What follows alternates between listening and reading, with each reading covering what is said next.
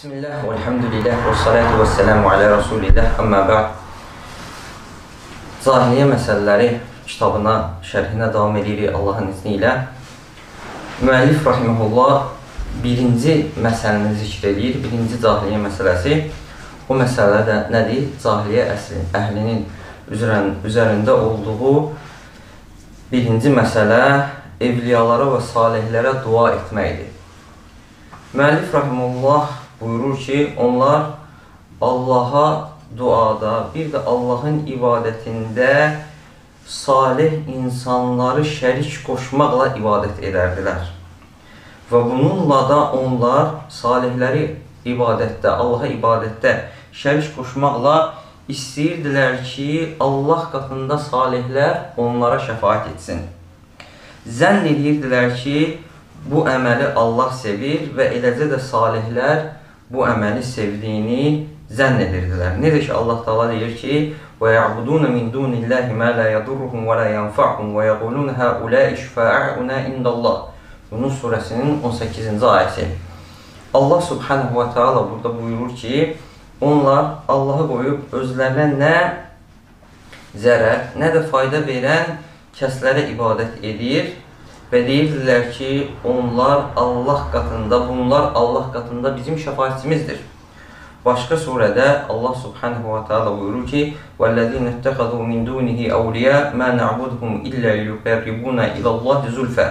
Allahdan başqa özlərinə dostlar seçənlər deyirlər, deyirlər ki, biz bunlara yalnız bizə Allaha yaxınlaşdırsınlar deyə ibadət edirik. Zümər surəsinin 3-cü ayəsi. Və bu ən əzəmətli məsələdir ki, Peyğəmbər sallallahu əleyhi və səlləm bu məsələdə onlara müxalif oldu. Yəni Peyğəmbər sallallahu əleyhi və səlləmin onlara müxalif olduğu ən əzəmətli, ən böyük məsələ də budur. Və Peyğəmbər sallallahu əleyhi və səlləm ixlası gətirdi və xəbər verdi ki, Allahın dini budur, ixlasdır. Hansı ki Allah subhanahu subhanahu və taala Allah Cəllə Cəlaluhu bütün peyğəmbərləri bununla göndərib və Allah Taala əməllərdən yalnız ixlaslı olanı qəbul edir.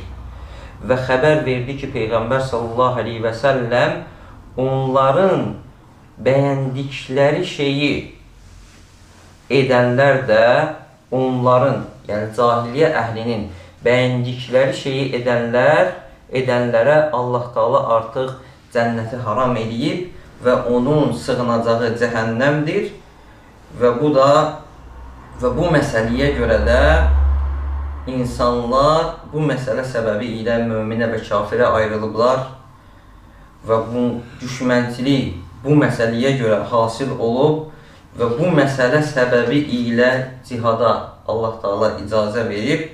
Necə ki Allah Taala buyurur ki: "Və qatiluhum hatta la takuna fitnatu və yakuna ad-dinu kulluhu lillah." Dinin hamısı Allaha, sırf Allaha olana qədər və fitnə yox olana qədər onlarla döyüşün. Şeyx Salih Hafizahullah şərhdə buyurur ki, Allah Subhanahu və Taala buyurur ki: "Və mə xalaqtul cinnə vəl insə illə liyəbudun." Mən cinləri və insanları yalnız mənə ibadət etmək üçün yaratdım. İbadət tək Allah Subhanahu və Taala'nın haqqıdır. Allahla yanaşı kim olursa olsun heç kəsə ibadət etmək caiz deyil. Caiz deyil. Cahiliyyə əhli isə bunun əksini etdilər. Allaha ibadət etməyi tərk etdilər. Tək Allaha ibadət etməyi tərk etdilər. Hansı ki, ona görə Allah Taala onları yaratmışdı. Allahla yanaşı bütlərə, ağaclara, daşlara, cinlərə, mələklərə, evliyalara və salihlərə ibadət etdilər. Allahdan qeyrisinə ibadəti sərf etdilər. Və onlardan eləsi də var idi ki, cahiliyyə əhlindən Allaha əslən heç ibadət etmirdi. Və onlar kafirlərdir, mülhidlər və dəhrilər kimi və onlardan da eləsi vardı ki, Allaha ibadət etdilər və Allahla yanaşı başqasına da ibadət etdilər. İkisinin də hökmü eynidir. Hökm eynidir. O şəxs ki, Allaha ibadət edir və Allahla yanaşı başqasına da ibadət edir, o əslində Allaha ibadət etməyən kimidir. Niyə? Çünki həmin insanın ibadəti batildir. Allah Taala heç vaxt şirklə razı deyil. Və ibadətdə ixlasın vacib olduğu kimi, ixlas yəni ibadəti sırf Allaha sərf etmək, ibadətdə Allaha xalis Allaha yönəlmək və Allahdan başqasına ibadət etməmək vacib olduğu kimi və eləcə də ibadətdə, əməldə vacib odur ki, əməl Allah subhanahu wa ta'alanın şəriətinin əmr etdiyinə müvafiq şəkildə olmalıdır. Öz hava istəyinlə olmalı deyil. Allah subhanahu wa ta'ala bidət olan əməli qəbul etmir. Necə ki, Allah subhanahu wa ta'ala şirk olan əməli qəbul etmədiyi kimi. Cahiliyyə işlərinin ən əzəmətlisi və ən böyüyü Allah subhanahu wa ta'alaya şərik qoşmaq və bir də dində yeniliklər gətirmək idi, bidət gətirmək idi ki, keçən dərsdə bildik ki, yəni onlar İsmail əleyhissalamla İbrahim əleyhissalamın dini üzərində olublar, dinlərinə bidət gətirdilər və nəyə düşdülər? Şirkə düşdülər. Və burada da müəllif rahimehullah ən birinci bu məsələ ilə başlayır. Cahiliyyə məsələlərinin ən birinci məsələsi bu məsələyə başlayır. Niyə? Çünki bu cahiliyyə məsələlərinin ən təhlükəli olanıdır. Bu cahiliyyə məsələlərində ən təhlükəli olan məsələdir. Allaha şərik qoşmaq. Çünki bu məsələ Peyğəmbər sallallahu əleyhi və səlləmin ən birinci inkara, inkar etməyə baş, başladığı məsələdir. Və insanları ən birinci bunu tərk etməyə çağırıb. Peyğəmbər sallallahu əleyhi və səlləm dəvətə başlayanda özündən başqa peyğəmbərlər kimi ən birinci ibadətdə Allaha ixlaslı olmağı əmr edir. Sırf ibadət xalis olaraq, təmiz olaraq Allaha sərf edilsin və başqasına heç bir şey sərf edilməsin və ondan qeyrisinin ibadəti tərk olunsun. Və bu bütün peyğəmbərlərin dəvətinin başlanğıcı və dəvətinin atarıdır. Çünki bu əsasdır, binadır, usuldur ki, başqa məsələlər bu əsasın üzərinə qurulur. Əgər əsas, bina fəs fəsad olarsa, onda başqa işlərin heç bir fayda olmayacaq nə namazdan, nə orucdan, nə həcdən, nə sədəqə, nə də başqa ibadətlərin heç bir faydası olmayacaq. Əgər əsl fasiddirsə, tovhid yoxdursa, yerdə qalan başqa əməllərdən heç bir faydası yoxdur. Çünki şirk həmin əməllərin hamısını yox eləyir, hamısını aparır və batil eləyir. Necə ki, Allah subhanahu ta'ala bir çox ayələrdə buyurur ki, وَلَوْ أَشْرَقُوا لَحَبْتَ عَنْهُمْ مَا كَانُوا يَعْمَلُونَ Əgər onlar şərik qoşsaydılar, etdiyi bütün əməllər Peyğəmbərlər barəsində deyil, batıl olardı. Və Muhammed sallallahu aleyhi və səlləm barəsində buyurur ki, وَلَقَدْ اُوْهِيَ اِلَيْكَ وَاِلَى الَّذ۪ينَ مِنْ قَبْلِكَ لَيْنْ اَشْرَقْتَ لِيَحْبَطَنَّ عَمَلُكَ və la takunanna minəl xasirin. Artıq sənə və səndən əvvəlkilərə vəhy olunub ki, əgər şərik qoşsan, sənin bütün əməllərin batıl olacaq və sən ziyana uğrayanlardan olarsan. Kimi barədə? Peyğəmbər sallallahu əleyhi və səlləm və bütün peyğəmbərlər, hətta peyğəmbərlər belə şərik qoşsaydı, onların əməlləri nə olardı? Batil olardı. Cahiliyyə əhli Cahiliyyə zamanında onlar Allaha ibadət edirdilər və Allahla yanaşı çoxlu şeylərə ibadət edirdilər. O ibadət etdiklərindən evliya və salihlər salihlər idi. Necə ki, Nuh əleyhissalamın qövmündə, salihlərdə həddi aşdılar, onları şirkdilər. Vad, Suva, Yağuz, Yavub, Nəsrı şirkdilər və onların qəbirlərinə e, ibadət etdilər ki, və dəlilləri də o idi ki, bunlar salih insanlardır. Onlar bizi Allaha yaxınlaşdırır və onlar Allah yanında, Allah qatında bizim şəfaətçilərimizdir. Və beləcə də cahiliyyət bu minvalla davam elədi və başladılar evliyalara və salihlərə və mələklərə ibadət etməyə və deyirlər ki, biz bunlara yalnız bizi Allaha yaxınlaşdırsınlar deyə ibadət edirik və deyirlər ki, bunlar Allah qatında bizim şəfaatçilərimizdir. Və onlar demirdilər ki, yəni bunlar Allahın rübubiyyətdə şərikidir. Onlar bunu etiqad etmirdilər. Demirdilər ki, bunlar Allaha şərikdir rübubiyyətdə. Yalnız deyirdilər ki, onlar Allahın qullarıdır və Allah qatında bizə vasitəsi olurlar və Allah qatında bizə şəfaətçi olurlar və bizi Allaha yaxınlaşdırırlar və bu öz əməllərini şirk adlandırmırdılar. Çünki şeytan onlara bu əməllər bəzəmişdi və onlara bəzəmişdi ki, bu əməl şirk deyil.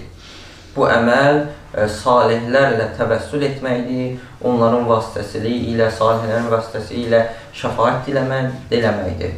Əslində ibrət, ibrət isə adlarla deyil, sən bunu nə adlan, istəyir şəfaət adlandır, istəyir təv təvəssül adlandır. İbrət, ibrətlər həqiqətlədir və bu şirkdir. Bunun sahibi, bunun şəfaət və yaxınlaşmaq adlandırsa da bu şirkdir. Çünki adlar həqiqəti dəyişdirmir. Allah subhanahu wa ta'ala razı deyil ki, ona ibadətdə kimsə şərik qoşulsun. Necə ki, Allah Taala deyir ki, "Fəmən kənə yarcu liqa'a rabbih fəliyə'məl əməlan salihan və la yüşrik bi ibadəti rabbih əhədə." Kim Rəbbi ilə görüşməyi ümid bəsləyirsə, salih əməl işləsin və Rəbbinə ibadətdə heç kəsi şərik qoşmasın. Kəhf surəsinin 110-cu ayəsi. Və başqa ayədə Allah subhanahu wa ta'ala buyurur ki, "Fa'budullaha mukhlishan lehu'd-din." Allaha bütün zahiri və batini əməlləri ixlaslı olaraq sırf ona sərf edərək ibadət et. Zümər surəsinin 2-ci ayəsi. Və başqa ayədə də buyurur ki: "Və mə umiru illə liya'budullaha mukhlisina lehu'd-din." Onlara yalnız Allaha bütün zahiri və batini əməllərini sırf xalis olaraq Allaha sərf edərək ibadət etmələri əmr olunmuşdur. Başqa ayədə də Allah subhanahu wa ta'ala buyurur ki: "Fad'ullaha mukhlisina lehu'd-din." Allaha bütün əməllərinizi, yəni ona ixlaslı olaraq sərf edərək ibadət edin. İbadət yalnız ixlasla və bir də Peyğəmbər sallallahu əleyhi və səlləmin şəriətinə, dininə, gətirdiyi sünnətinə tabe olmaqla fayda verər. Və bu da cahiliyyə məsələlərinin ən əzəmətlisidir və o da evliya və salihlərə ibadət etməkdir istəyir ölülər olsun, istəyir yerdə olanlar olsun, onlardan yardım diləməkdir, onlara sığınmaqdır, ehtiyacları onlardan tələb etməkdir. Necə ki, hal-hazırda qəbirpərəstlər tamamilə bunun üzərindədirlər. Hansı ki, pirlərə ibadət edirlər və qəbir ölülərə yaxınlaşdır, yaxınlaşırlar. Allahla yanaşı, Allahdan qeyri onlara dua edirlər, onlardan yardım diləyirlər Və bu da, bu əməllər də cahiliyyə əhlinin üzərində olduğu əməldir. Necə ki, Allah Taala buyurur ki: "Və ya'budun min dunillahi ma la yadurruhum və la yanfa'uhum və yəqulun haula'i şufa'auna indallah."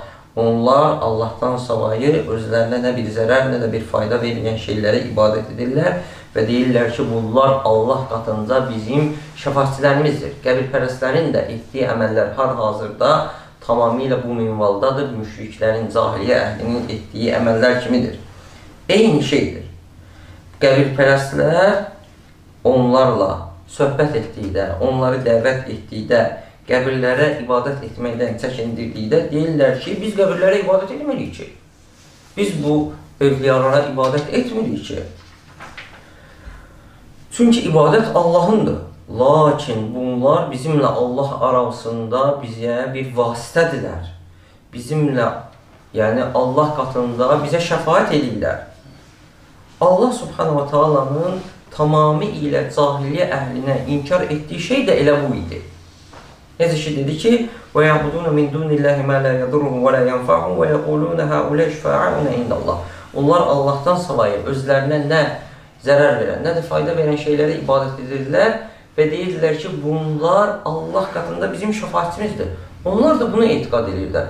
Onlar da deyirdilər ki, bunlar bizi ruziləndirmir, bunlar bizə evlad vermir, öldürmür, diriltmir. Onlar etiqad edirlər ki, öldürən, dirildən, hər şeyi idarə edən, hər şeyin sahibi olan, maliki olan Allahdır. Lakin onlar bu salihlərə, evliyalara, mələklərə ibadət edirlər və deyirlər ki, bunlar Allah qatında bizim şəfaətimizdir. Və başqa ayədə də Allah Taala buyurur ki: "Vəllezîne ittehadu min dunihi awliya ma na'buduhum illa liyuqarribuna ila Allahi zulfa."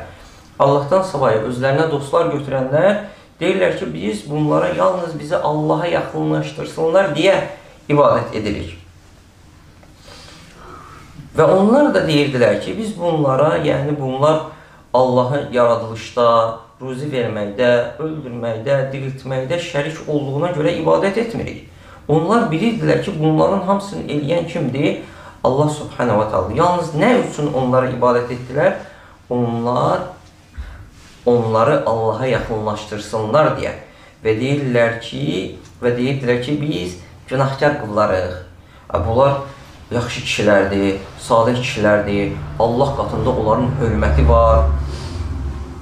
Və biz bunlardan istəyirik ki, bunlara ibadət edirik və onlardan istəyirik ki, yəni Allah bizim aramızda bizim tövbə tövbələrimizi və ibadətimizi qəbul etməyinə görə vasitəsi vasitəçi olsunlar. Beləcə də insanlardan olan, insanlardan və cinlərdən olan şeytanlar bu işi onlara belə bəzəmişdi hal-hazırdakı, yəni qəbirpərəstlərə belənciyinə e, bəziyib. Və təəccüblü də odur ki, təəccüblü də odur ki, qəbirpərəstlər yəni Quranı oxuyurlar. Bu ayələri keçirlər, oxuyub keçirlər. Və buna fikir vermirlər. Fikir vermirlər bu ayəyə. Və bununla yanaşı qəbirləri ibadət etməkdə davam edirlər. Baxmayaraq ki, bu feillər hamısı cahiliyyə feillərindəndir. Niyə görə bu Quranı oxusalar da, bu ayələrə üstündən keçsələr də, oxusalar da, bu şeylərə fikir vermirlər? Çünki onlar cahiliyyə əhlinin üzərində olduğu şeyi bilmədiklərinə görə. Bilmirlər ki, bu cahiliyyə əhlinin işlərindəndir. Və bu da cahiliyyə işləri barəsində cahiliyyə əhlinin feilləri barəsində cahil olmağın nəticəsindəndir. Siz də ola bilər, kimsə ola bilər bizim içimizdə olsun ki, təzə-təzə namaza gələndə qəbirpərəstlərin təriqətində gəlsin. Hətta eləsi olur ki, Quranı tam olaraq oxuyur, tərcüməsin. Amma yenə də başa düşmür, fikir vermir. Elə ki, o vaxt ki, başa salanda, bəyan eləyəndə ki, cahiliyyə əhlinin də feili bu idi. Onlar da qəbirlərə etiqad eləmirdilər ki, bunlardır yaradan, bunlardır ruzu verən, lakin onlar ibadət edirlər ki, bunlar Allah qatında bizim şəfaətçimizdir. O zaman insan elə bil ki, yuxudan oyanır ki, həqiqətən bu nədir? Bu, cahiliyyə əhlinin əməllərindəndir. Hansı ki, Peyğəmbər sallallahu aleyhi və sələm göndərilib ki, bunu qadağan eləsin. Sonra Şeyx Rahimullah buyurur ki, Bu Peyğəmbər sallallahu əleyhi və səlləmin onlara müxalif olduğu ən əzəmətli, ən böyük məsələdir. Peyğəmbər sallallahu əleyhi və səlləm ixlası gətirdi və xəbər verdi ki, Allahın dini budur. O gün ki, Allah Taala o dündən bütün peyğəmbərləri göndərib və Allah Taala əməllərdən yalnız ixlaslı olanı qəbul edir və Peyğəmbər sallallahu əleyhi və səlləm xəbər verdi ki, kim cahiliyyə əhlinin bəyəndiyi şeyi edərsə, artıq Allah Taala ona cənnəti haram edir və onun sığınacağı yer cəhənnəmdir. Və bu məsələdə insanlar bu məsələ səbəbi ilə müsəlman və kafirə bölünüblər və bu məsələyə görə düşmənçilik baş verib və bu məsələ səbəbi ilə Allah Taala cihadı icazə verib və deyib ki, dinin hamısı Allaha olana və fitnə aradan qalxana qədər onlarla döyüşün. Və bu məsələdə şeyxin dediyi kimi, yəni Peyğəmbər sallallahu əleyhi və səlləmin onlara müxalif olduğu ən böyük məsələdir şirk məsələsi. Çünki Peyğəmbər sallallahu əleyhi və səlləmi Allah subhanahu va taala insanlara göndərib ən birinci başladığı şey dəvətə Allahın təvhidi olub və şirki inkar edən olub. İnkar etmək olub. Necə ki Peyğəmbər sallallahu əleyhi və səlləm deyir ki: "Qul la ilahe illallah tuflihu." La ilallah, la ilahe illallah deyin ki, qurtulasınız. Və başqa hədisdə Peyğəmbər sallallahu aleyhi və sələm deyir ki, Umirtu ən uqatilən nəs, umirtu ən uqatilin nəsə həttə yəqulu la ilahə illallah. Umirtu ən uqatilən nəsə həttə yəqulu ən la ilahə illallah. İnsanlarla la ilahə illallah deyənə qədər döyüşməyim əmr olundu. Əgər bunu deyərlərsə, artıq öz qanlarını və mallarını məndən qorumuş olarlar. Hədisi Buxarı rəvayət edib. Və Peyğəmbər sallallahu aleyhi və səlləm onların toplantılarına, evlərinə və həc mövsümlərində də onların yanlarına gedərdi. Onları tohidə çağırardı və bura, ora gedərdi. Necə ki, taifə gedib onları tohidə dəvət edib, Allah subhanahu wa ta'alanı ibadətdə təkləşdirməyə dəvət edib və bu da Peyğəmbər sallallahu aleyhi və səlləmin ən birinci başladığı şey olub dəvətində. Niyə? Çünki əsas, əsil budur və eləcə də dəvətçilərə də vacib odur ki, bu işə ehtimam göstərsinlər. Ən birinci tohiddən başlasınlar. Bəzi qardaşlar xata edir, gedir, deyir ki, içki içmə, nə bilim, sigaret çəkmə, nə bilim, namaz qıl. Xeyr, əgər bu insanın qəlbinə tohid girməyibsə, şirkdən təmizlənməyibsə, heç vaxt o başa düşməyəcək nə musiqiyə qulaq asmamağı, nə içkini tərk etməyi, nə siqareti tərk etməyi, nə namaz qılmağı, nə oruç tutmağı. Ən birinci başladığın şey dəvətdə tohid olmalı. Çünki ən mühüm şey budur dəvətdə. Və Peyğəmbər sallallahu əleyhi və səlləm də ixlası gətirib. İbadətdə Allaha ixlaslı olmaq. Allahdan qeyrisinin ibadətini tərk etmək, istəyir evliya olsun, istəyir salihlər olsun və qeydləri olsun. Və bütün peyğəmbərlərin dininə də budur. Necə ki Allah Taala buyurur ki: "Və mə ərsəlnə min qablika min rasulin illə nuhi ileyhi ennehu la ilaha illa ana fa'budun." Səndən başqa heç bir peyğəmbər göndərmədik ki, ona vəhy etməyək ki, məndən başqa ibadətə haqqı olan məbud yoxdur, yalnız mənə ibadət edin. Yəni Allah Subhanahu va Taala bu ayədə peyğəmbər sallallahu əleyhi və səlləmə deyir ki, səndən əvvəl göndərdiyimiz bütün peyğəmbərlərə hamısına vəhy eləmişik ki, məndən başqa ibadətə haqqı olan məbud yoxdur və yalnız mənə ibadət edin. Və Allah Subhanahu va Taala buyurur ki: "Və laqad ba'athna fi kulli ummetin rasulan an ibudullaha və ijtanibu tağut." Artıq hər ümmətə peyğəmbər göndərdik ki, Allaha ibadət edin və tağutdan çəkinin. Yəni Allahdan başqasının ibadətindən çəkinin. Və bütün peyğəmbərlərin onlara Allahın salavat və salamı olsun mənhəci budur. Ən birinci Allaha ibadətə çağırmaq, Allahdan qeyrisinin ibadətini tərk etmək. Yerdə qalan baş başqa islahlar isə bu tohidə tabedir.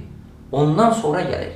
Birinci hətta Peyğəmbər sallallahu əleyhi və səlləm fikir verir Muaz radiyallahu anhuna Yəmənə göndərəndə dedi ki, onlara ən birinci çağırdığın şey la ilahə illallah olsun. Başqa rivayətdə gəlir ki, Allahı təkləşdirmək olsun, təvhid olsun.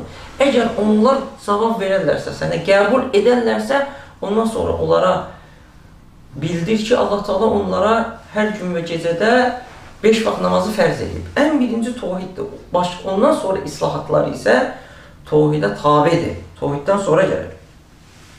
Allah Subhanahu taala əməllərdən yalnız özünün üzünə ixlaslı olanı qəbul edir. Hansı ki, o, o əməldə heç bir şirk yoxdur. Və eləcə də əməl mütləq Allah subhanahu wa ta'alanın şəriətinə müvafiq olmalıdır. Allah subhanahu wa ta'ala bidət olan əməli qəbul eləmir, nə də şirk olan əməli qəbul eləmir. Allah Taala deyir ki: "Fəmən kana yarju liqa rabbih fely'amal amalan salihan." Kim Rəbbi ilə görüşməyə ümid bəsləyirsə, salih əməl işləsin salih əməl işləsin, yəni ixlaslı və Peyğəmbər sallallahu əleyhi və səlləm sünnəsinə müvafiq və la yushrik bi ibadati rabbih ahada Rəbbinə ibadətdə heç kəsi şərik qoşmasın. Allah Taala deyir ki: "Va'budullaha və la tushriku bihi şey'an." Allaha ibadət edin və ona heç bir şeyi şərik qoşmayın. Nisa surəsinin 36-cı ayəsi Allah Subhanahu va Taala tək Allaha ibadət əmri ilə kifayətlənmədi. Tək demədi ki, Allaha ibadət edin. Bununla kifayətlənmədi. Dedi ki, əksinə şirkdə, şirki də qadağan elədi. Dedi ki, Allaha ibadət edin, onu bilsin biri Allaha ibadət edir, lakin Allahla yanaşı başqasına ibadət edir. Necə ki, Məkkə müşrikləri kimi, necə ki, quburilər kimi, qəbirpərəstlər kimi. Allah Taala bununla kifayətlənmədi. Demədi ki, Allaha ibadət edin, bəsdir. Yox, dedi ki, Allaha ibadət edin və Allaha heç bir şeyi şərik qoşmayın. Çünki ibadət şirk olursa ibadətdə Allah subhanahu ta'ala onu qəbul etmir və tağuta küfr etmək Allaha iman gətirməkdən öncədir. Necə ki Allah Taala buyurur ki: "Fəmən yekfur bit-tağut və yu'min billahi faqad istamsaka bil-urvati-l-wuthqa la infisama laha." kim tağuta, tağutu inkar eləyib Allaha iman gətirərsə, gətirərsə artıq qopmaya, qop, qopmaya möhkəm ipdən yapışmış olar. Birinci Allah subhanahu wa ta'ala nə dedi? Tağutu inkar edib, sonra Allaha iman gətirir. Yəni Allahdan başqa ibadət olunanların ibadətini inkar edib və Allaha iman gətirərsə. Bu da la ilahe illallahın mənasıdır. Çünki la ilahe illallah inkar və isbatdan ibarətdir. Şirkin inkarı, tovhidin isbatı. La ilahə bütün Allahdan başqa ibadət olunan bütün məbudların batil etməkdir, inkar etməkdir. İllallah ibadəti tək Allaha isbat etməkdir. Allah Taala da əməllərdən yalnız özünün üzünə xalis olanı qəbul edir. Bidət olan və eləcə də Peyğəmbər sallallahu əleyhi və səlləmin minhəcinə müxalif olan heç bir ibadəti qəbul eləmir. Peyğəmbər sallallahu əleyhi və səlləm buyurur ki, kim bizim dinimizdən olmayan bir əməli edərsə, ondan rədd olunar. Hədisi Müslüm rivayət edir. Başqa rivayətdə deyir ki, kim bizim dinimizdə olmayan bir yeniliyi gətirərsə, ondan olmayan bir şey gətirərsə, ondan rədd olunar. Ona görə də alimlər deyirlər ki, əməl yalnız iki şərtlə qəbul olunur. Birinci şərt ixlasdır. İbadəti sırf Allaha etmək. İkinci şərt və o ibadətdə Allaha şərik qoşmamaq. İkinci şərt ibadətdə Peyğəmbər sallallahu əleyhi və səlləmə şəriətinə uyğun olaraq etmək. Əgər bu iki şərtdən birinə xələl yetirərsə, xələl gələrsə, onda əməl qəbul deyil, əməl salih əməl sayılmır o zaman. Və eləcə də Allah subhanahu wa ta'ala xəbər verir ki, kim onların bitlərə ibadət et, e, etdiyi şey, yəni bəyən, bitlərə ibadəti bəyəndiyi şey edərsə və yaxud evliyalara, daşlara, ağaclara və qəbirlərə və ibadətdə kitaba və sünnətə, Peyğəmbər sallallahu əleyhi və səlləmin sünnəsinə qayıtmazsa, yəni onların bəyəndiyi şeyi edərsə, çünki onlar Allahdan qeyrisinə ibadət edirlər, bunu bidət olaraq gətirmişdilər, bunu bəyənmişdilər. Kim də onların bəyəndiyi şeyi edərsə ibadətdə, salihlərə ibadət etmək, daşa, divara, ağaclara ibadət etmək və ibadətində kitab və sünnəyə qayıtmazsa və özünün bəyəndiyi şeyə qayıdarsa, və yaxud öz nəfsinin istədiyi şeyə qayıdarsa, kitab və sünnəyə müxalif olsa belə, Allah subhanahu wa ta'ala xəbər verib ki, ona cənnəti haram eləyib və onun sığınacağı yer cəhənnəmdir. Necə ki, Allah Taala buyurur ki, "İnnehu men yushrik billahi faqad harramallahu alayhi'l cennete və ma'vahu Həqiqətən kim Allaha şərik qoşarsa, Allah ona cənnəti haram eləyib və onun sığınacağı yer cəhənnəmdir. Yəni Allah Subhanahu va Taala ona cənnətə girməyi qətiyyən qadağan edib haram edib. Haram da lüğətdə mane olmaqdır. Müşrik cənnətə girməkdən tamamı ilə mane olunub cənnətə girməsi. Müşrikin cənnətdən heç bir payı yoxdur, heç bir tamaha yoxdur və onun sığınacağı yer cəhənnəmdir. Və bu Allaha şərik, şirk qoşmağın aqibətidir. Baxmayaraq ki, onlar deyirdilər ki, biz bunları yalnız bizi Allaha yaxınlaşdırsınlar deyə ibadət edirik. Bunlar Əgər bunun üzərində olan ölərlərsə tövbə etmədən Allah subhanahu və taala onlara cənnəti haram edib və cəhənnəmi onların əbədi qalacağı yuru yurdu eləyib. Kim ki öz nəfsinə qurtuluş istəyir, buna fikir versin. Cahiliyyət işlərinin üzərində qalmasın və ondan qurtulsun və bütün cahiliyyət işlərini tərk eləsin. Və eləcə də Rahimullah burada dedi ki, bu məsələdə insanlar bu məsələ səbəbi ilə müsəlman və kafirə bölünüblər. Yəni tohid və şirk məsələsində bir cəmaat Peyğəmbər sallallahu əleyhi və səlləm təsdiqlədi və ona iman gətirdi. İbadətdə Allaha ixlaslı oldu. Bunlar möminlərdir və bir qövmdə Peyğəmbər sallallahu əleyhi və səlləm müxalif oldu və öz şirklərində, öz ibadətlərində atalarının üzərində olduğu əvvəlki ibadətdə qaldılar. Necə ki, başqa küfür ümmətləri də öz olduqları şeyin üzərində qaldılar, hansı ki, Peyğəmbərlərə zid olan küfür ümmətləri. Çünki onlar atalarının olduğu şeyin üzərində qalmağı seçdilər, istədilər. Necə ki Allah Taala deyir ki: "Və kəzəlikə mə ərsəlnə min qablika fi qaryatin min nəzirin illə qala mutrafuha inna vəcədna aba'ana ala ummetin və inna ala atharihim muqtadin." Muqtadun. Allah deyir ki, beləcə də biz səndən qabaq bir kəndə, bir şəhərə elə bir peyğəmbər göndərmədik ki, elə bir xəbərdar edən göndərmədik ki, onların başçıları və hörmətli və izzətliləri biz atalarımızı bir din üzərində qoyduq və biz də onların arxasıyla gedirik deməsinlər. Yəni səndən qabaq bütün göndərdiyimiz başqa bir ümmətlərə, başqa bir ölkələrə göndərdiyimiz xəbərdar edən peyğəmbərlər, onları Allahın dininə dəvət eləyəndə onların başçıları deyərdilər ki, biz atalarımızı bu dinin üzərində görmüşük və biz də onların yolu ilə gedirik. Və başqa ayədə də Allah Taala buyurur ki, onlar deyirlər ki, "Ətənhənə ən na'budu ma ya'budu əbə'ənə" atalarımızın ibadət etdiyini etdiyinə ibadət etməkdənmi bizi etməyimi bizi qadağan edirsən? Bu onların sözləridir və hüccətləridir və atalarının və babalarının üzərində olduğu dindən yapışmaq Allahdan qeyrisinin ibadətində.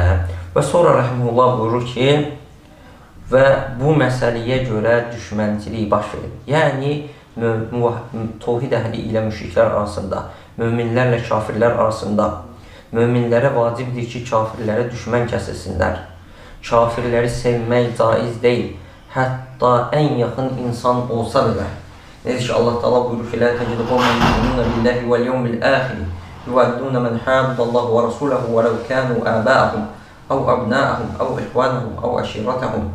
Allah subhanahu wa ta'ala buyurur ki, sən Allaha və axirət gününə iman gətirən elə bir qövm görməzsən ki, onlar Allaha və Rəsulunun həddini aşanları, Allah və, və Rəsuluna zid olanları özlərinə dost tutsunlar.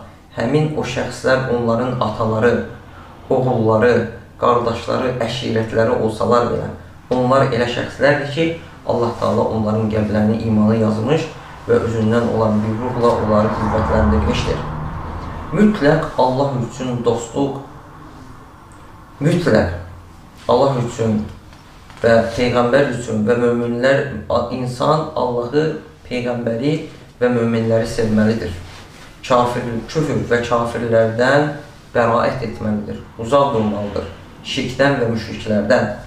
Necə ki, Allah deyir, İbrahim əleyhissalam barəsində və onun tabi olanlar barəsində onlar nə deyirlər?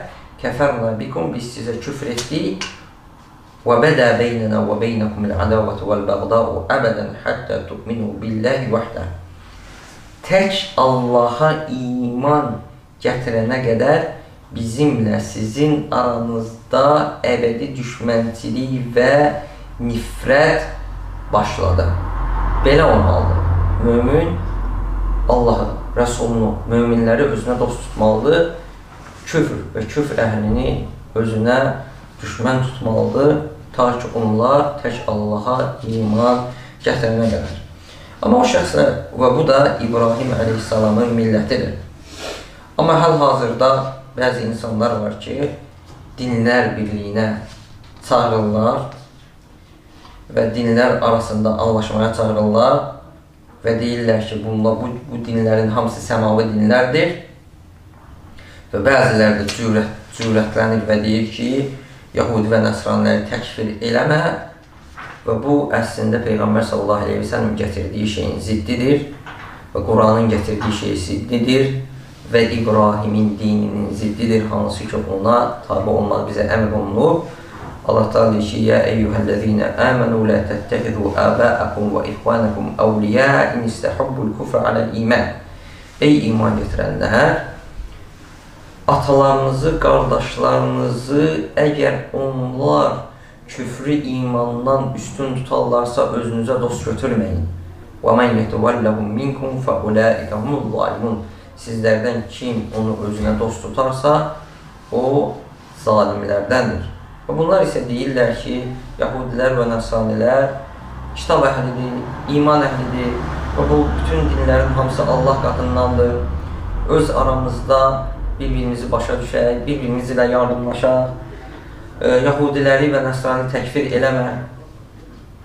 Əslində belə bir dəvətlər hal-hazırda mövcuddur və bu əslində İslamda dostluq və düşmənçilik əqidəsini silib aparmaqdır möminlərlə kafirlərin arasında.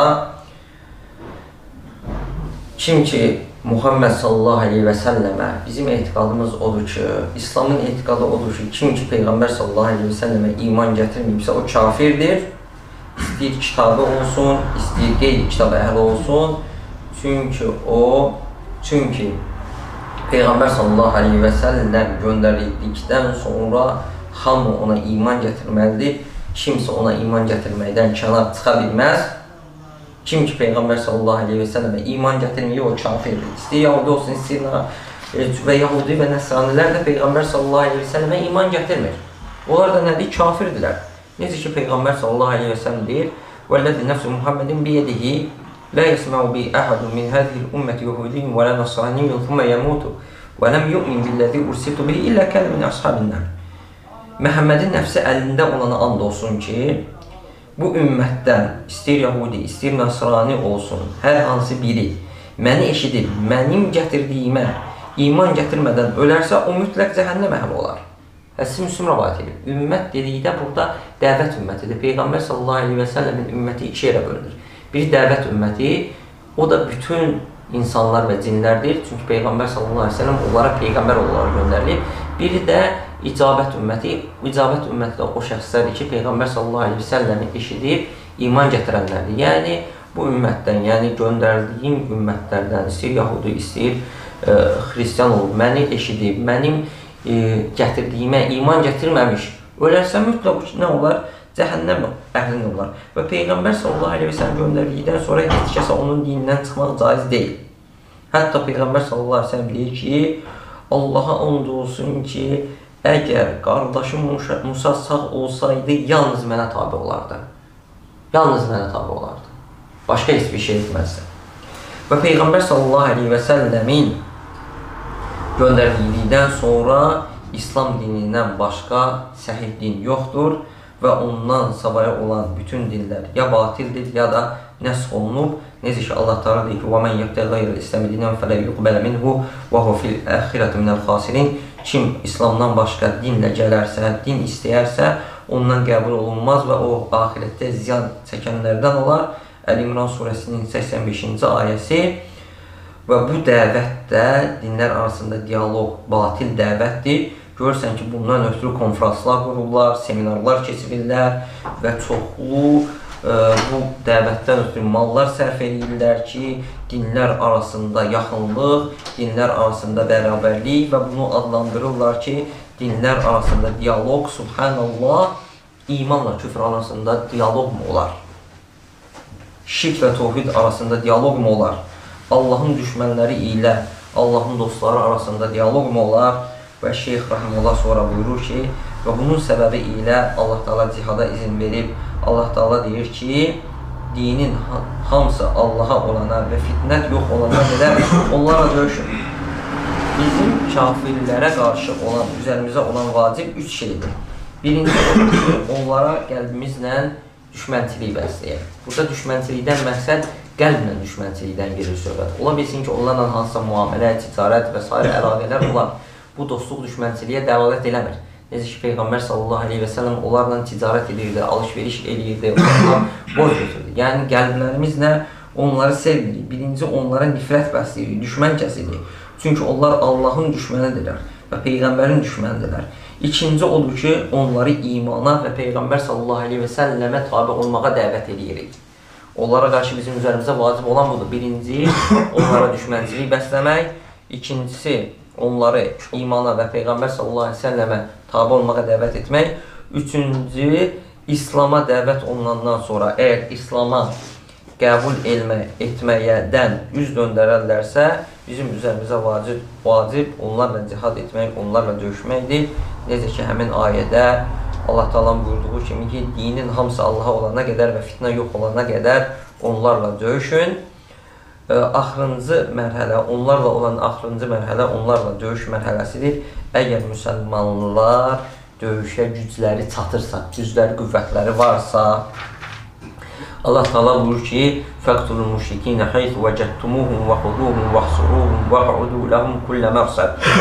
Müşrikləri harda görsəniz öldürün, yaxalayıb əsir alın, həbs edin və bütün yollarını, keçidlərini tutun. Və təbii ki, bu ayələr əmir sahibinə aiddir və əmir sahibinin ə, əli altında olan, əmri ilə olan cihadın şərtləri tamamlanan maneələr aradan qalxan cihada aiddir. Yəni kimsə bu ayəni oxuyub, əgər hər bir kafiri görüb onu öldürərsə, bu İslam bunu əmr eləmir. Əksinə Allah Subhanahu taala Peyğəmbər sallallahu əleyhi və səlləm qadağan edib zimmini və muahidi, yəni müsəlman ölkəsində yaşayan e, kafiri və yaxud müsəlmanlarla başqa müsəlmanların arasında əhd olan kafiri öldürməyə, öldürən insana Peyğəmbər sallallahu əleyhi və səlləm deyir ki, ona cənnətin iyi gəlməz burnuna. Bu ayələr hamısı nəyə aiddir? Hərbi e, hərbi olan, yəni bizimlə onların arasında hərb olan kafirlərə aiddir və əmr sahibinin əmrindən sonra və müsəlmanların əgər gücü çatırsa, necə ki, e, bir neçə ay qabaq Qarabağda olmuşdu, əmr sahibi onlarla döyüşməyə əmr elədi və ə, e, bizim də əskərlərimiz Allahın izni ilə nə elədilər? Onlara bacardığı qədər döyüşdülər. Yəni hər kəs bu ayəni oxuyub deməsin ki, kafirləri öldürmək lazımdır. Yolda gördüyü və yaxud hardasa ə, e, gördüyü kafiri tutub öldürsün. Xeyr, əslində bu Qur'anı düz başa düşmək deyil. Və şeyx buyurur ki, bu ayədə deyir, cihaddan, ə, e, yəni İslamda cihaddan hikmətinin bəyanı var. Çünki cihaddan hikmət şirkin yox olmasıdır və fitnənin aradan qalxmasıdır. Bu ayədə fitnədən məqsəd də şirkdir. Yəni, hətta şirk yer üzündən yox olana qədər onlarla döyüşün və dinin hamısı Allaha olana qədər. Cihaddan da əsas məqsəd budur. Cihaddan əsas məqsəd insan səltənətini genişləndirmək, başqa məmləkətlərə üzərində e, çökmək, başqa başqa məmləkətləri almaq və sərvət hasil etmək deyil. Əsas məqsəd bu deyil əsas məqsəd Allah Subhanahu taalanın kəlməsinin uca olması, şirkin yer üzündən silinməsidir. Və cihaddan da məqsəd budur. Və eləcə də cihaddan məqsəd, İslamda cihaddan məqsəd müdafiə cihadı deyil. Necə ki, bəzi, yəni katiblər, yazarlar bunu deyirlər, İslamdan bixəbər olan yazarlar deyirlər ki, İslam kafirlərlə döyüşməyi əmr eləmir. Çünki bu vəhşilikdir Lakin İslamda olan döyüş müdafiə üçün olan döyüşdür. Yəni, əgər onlar bizə qarşı hədlərini aşarlarsa, biz də onlarla döyüşərik, onların düşmənçiliyini aradan qaldırmaqdan ötürü. Subhanallah, Allah subhanallah bu ayda deyir ki, yəni müşriklərlə döyüşün və deyir ki, din tək Allahın olana qədər və fitnə, yəni şirk aradan qalxana qədər onlarla vuruşun.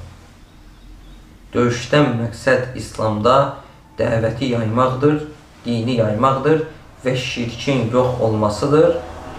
Və qəsd budur. İslamda da döyüş iki növdür. Birincisi müdafiə döyüşüdür. Bu da müsəlmanlar aciz olduğu vaxtdır. İkincisi döyüş isə tələb döyüşüdür və bu da müsəlmanların qüvvətli olduğu və qüdrətli olduğu vaxtdır. Beləcə də birinci məsələ sona yetir. Allah subhanahu wa ta'aladan istəyirəm ki, bizi eşidib faydalanlardan etsin. Subhanakallahumma və bihamdik. Əşhədu an la ilahə illə ən. Əstəğfiruka və ətubu ileyk. Əgər video çarxlarımızı bəyənirsinizsə və siz də İslam dininin yayılmasında iştirak etmək istəyirsinizsə, videolarımızı digər sosial şəbəkələrdə paylaşın. Xeyrə vəsilə olun. Unutmayın ki, elm paylaşıldıqca.